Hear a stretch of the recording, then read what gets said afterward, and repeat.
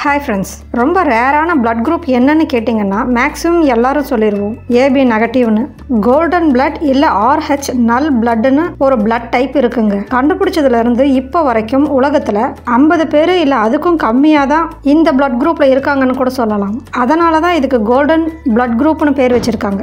அதுக்கு இன்னொரு முக்கியமான காரணமும் இருக்குது அதை தெரிஞ்சுக்கணும்னா வீடியோவை லாஸ்ட் வரைக்கும் பாருங்கள் இந்த ரேர் குரூப்பை பற்றி சொல்லப்பட்டது ஆயிரத்தி தொள்ளாயிரத்தி அறுபத்தொன்னாம் வருஷம். அபோரிஜினல் ஆஸ்திரேலியன்ஸுங்கிற இடத்துல இருக்கிற ஒரு பொண்ணை செக் பண்ணும்போது இதை கண்டுபிடிச்சிருக்காங்க. அது வரைக்கும் டாக்டர்ஸ் இந்த ஆர்ஹெச் நல் அதாவது ஆர்ஹெச்ங்கிறது நம்ம ரத்தத்தில் இல்லைங்கிறது ரொம்ப விசித்திரமானது.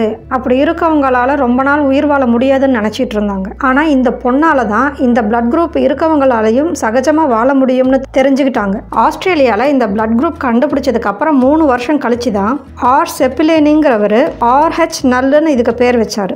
ஆர்ஹெச் நல்லுன்னா ஆர்ஹெச்ங்கிறது நம்ம ரத்தத்தில் இல்லைன்னு அர்த்தம். ஆர்ஹெச்சுக்கு ஃபுல் ஃபார்ம் ரேஷஸ் ஒருத்தரை பார்த்து பிளட் குரூப் என்னன்னு கேட்டிங்கன்னா ஏ பி ஓ இல்லை ஏபின்னு தனியாவா சொல்கிறோம் A positive B positive AB பாசிட்டிவ்னு ஒரு சிம்பிளையும் சேர்த்து தானே சொல்கிறோம் இதுதான் ஆர்ஹெச்னு சொல்லப்படுறது. நம்ம ரத்தத்தில் இருக்கிற சிகப்பு ரத்த அணுக்களில் ஒரு வகை புரோட்டீன் இல்லை ஆன்டிஜன் இருக்கும்.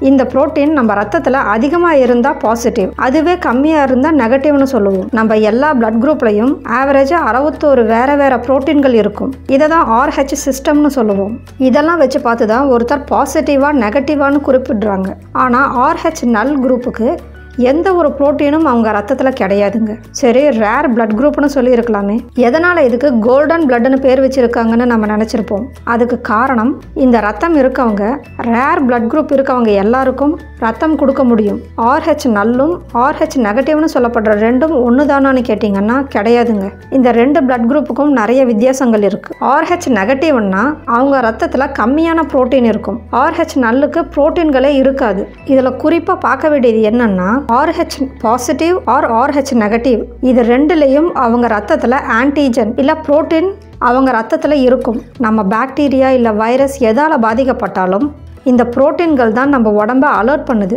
நம்ம நோய் எதிர்ப்பு சக்தி இம்யூன் சிஸ்டம் அப்புறம் தான் வேலை செய்யவே ஆரம்பிக்குது. நெகட்டிவ் பிளட் குரூப் இருக்கவங்க எல்லாருக்குமே நோய் எதிர்ப்பு சக்தி கம்மின்னு தான் சொல்லுவாங்க. அப்போது ஆர்ஹெச் இல்லைங்கிற பட்சத்தில் அவங்க உடம்பு எப்படி இருக்குன்னு பார்த்துக்கோங்க. ஆறு மில்லியன் மக்களில் ஒருத்தர் இந்த பிளட் குரூப்பில் இருப்பாங்களாம். ஆர்ஹெச் நல் பிளட் இருக்கவங்களா இருந்தால் அவங்க உடம்ப பார்த்துக்க வேண்டியது ரொம்ப முக்கியமானது. ஏன்னா அவங்க ரத்தம் கிடைக்கிறது கஷ்டம்னு சொல்கிறத விட கிடைக்காதுன்னே சொல்லலாம். ஆனால் உலகம் முழுசாக இருக்கிற ஆர்ஹெச் நல் பிளட் இருக்கவங்க ரத்த தானம் பண்ணிகிட்டே தான் இருப்பாங்களாம். அதுக்கு காரணம் நம்ம ரேர் குரூப்னு நினைக்கிற எல்லா பிளட் குரூப்புக்கும் அவங்களோட ரத்தம் பொருந்தும்.